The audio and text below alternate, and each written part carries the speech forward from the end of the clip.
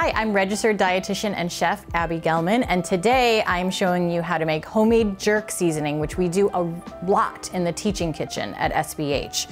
So it's a bunch of dried spices that we just mix together, and then we use it for a bunch of different recipes and dishes. So you can see on our plate here a lot of different colors, a lot of different beautiful spices. So I'm just gonna take a walk around the plate and we'll talk about what we've got. We have onion powder, garlic powder, ground ginger, dried thyme, black pepper, cinnamon, allspice, paprika, nutmeg, and cumin. In the middle here, we have some dried red pepper flakes, we have some dried chives, and we have a little bit of sugar. So what we're gonna do is just mix everything together into our spice blend. So let me grab a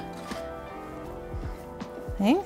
I did this on a plate so that you could really see all the different beautiful colors and spices we are going to use.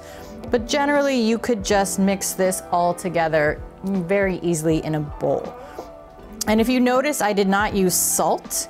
So in the teaching kitchen, we make our own spice blends like this jerk seasoning, and we generally do not include salt and we'll add a certain amount of salt when we're actually cooking uh, the recipe that uses those seasonings.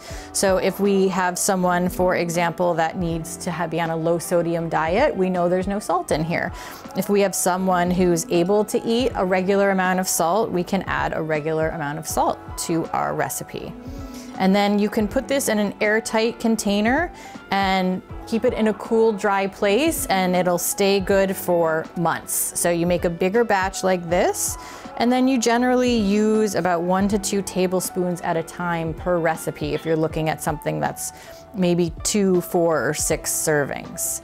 So there you go. This looks beautiful. I'm gonna move this into a container and keep it on my counter to use all week long for the next few months.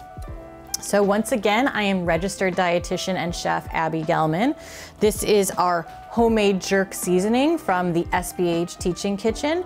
And if you want to learn more about us or cook with us, head over to sbhteachingkitchen.org. Thanks for watching and we'll see you next time. Bye.